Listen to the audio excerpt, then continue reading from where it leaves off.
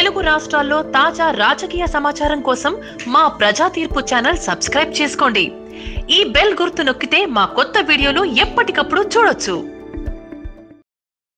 ఏపీలో అధికార ప్రతిపక్ష పార్టీ జనసేనల మధ్య వారు ఇంకాస్త జోరుగా సాగుతోంది.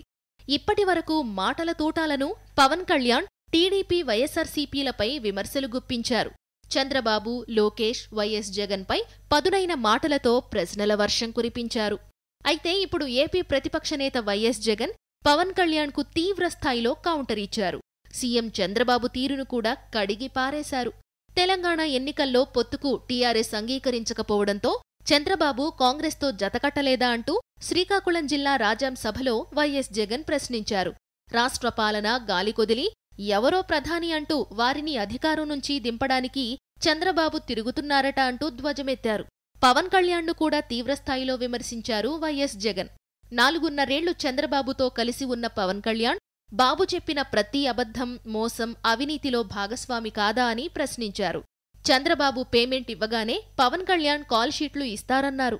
డైరెక్టర్ చంద్రబాబు అయితే యాక్టర్ పవన్ కళ్యాణ్ నిర్మాత లింగమనేని అంటూ ఎద్దేవా చేశారు.